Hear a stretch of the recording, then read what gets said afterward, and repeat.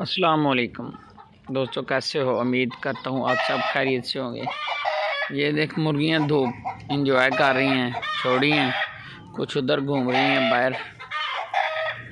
ये मुर्गियाँ ने शोर डालना शुरू कर दिया। ये इस वजह से शोर करती हैं। या तो मुर्गी अंडा दे दी, दे दिया होता है मुर्गी ने, या देने वाली होती है। तो ये देखिए, इनको ये पानी का बर्तन रखा है। और इसमें ये दाने वगैरह डाले ला के इनको थोड़ा सा दाना। तो ये सारा दिन पहले ये घूमती रही इधर, अंदर जाके। अब ये रेस्ट कर रही हैं जैसे। तो कुछ ये मुर्गियाँ हैं तो अंदर से भी दिखा देते हैं। ये हमने एक शेड बनाया हुआ अपना। ठीक है, थोड़ा। तो इसमें तीस पैंतीस मुर्गियाँ रखी हुई हैं हमने। ये सारा दिन यहाँ से बाहर से दाना वगैरह भी ढूंढती रहती हैं। जैसे वो भैंसों के पास जो भैंसों के खाने वाली खुरली है ना, उसके नीचे वो मुर्गी लगी है, ऐसे ये घूम रही है। तो सारा दिन घूमती रहती हैं ये मुर्गियाँ। फ्री रेंज में तैयार की हैं। तो अल्हम्दुलिल्लाह अंडे भी दे रही हैं, माशाल्लाह, ये दस पंद्रह अंडे दे रही हैं अभी तक तो। तो ये हमने शर्ट बनाया हुआ ये देखिए, इसके अंदर उस तरफ़ बंद किया हुआ और ये इनके बैठने के लिए जगह बनाई हुई है।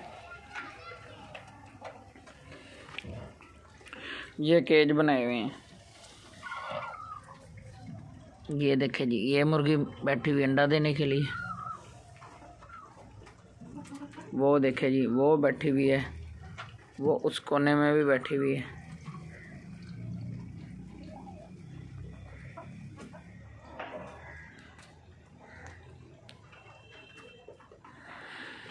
अंडा देने के लिए बैठ रही है, जगह ढूंढ रही है तो अंडे भी दे रही हैं मुर्गियाँ। तो बाहर चले जाते हैं क्योंकि ये डर जाती हैं। अगर बैठी हुई हो ना, जैसे वो बैठ रही है मुर्गी। तो आप भी अपने घर में छोटा सा शेड वगैरह बना सकते हो इस तरह। तो ख़र्चा इनका ना होने का बराबर अगर आपके पास जगह हो, ऐसे खुली जगह हो, जैसे हम नहीं ये भैंसों में छोड़ देते हैं, ये घूमती रहती हैं सारा दिन। बाहर से ये ज़्यादातर खुराक खा लेती हैं। हल्की फुल्की खुराक डालनी पड़ती है इन्हें थोड़ी सी, ज़्यादा नहीं डालनी पड़ती, ना होने के बराबर।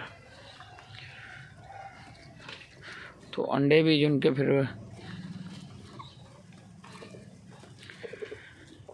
प्योर देसी होते हैं। ये असील मुर्गा है, ये वाला। ये देखिए, ये वाले मुर्गे को हमने बांधा हुआ है और इसको एक ना, इसके नाक में ना नथ भी डाली हुई है। वो दिखा देते हैं शायद इस तरफ़ को। ये देख नीचे से बांधा हुआ है।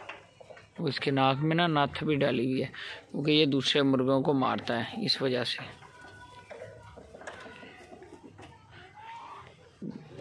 दो नए मुर्गे लाए थे ना, उनको ये मारता है ये बड़ा मुर्गा पहले था। ये वाला।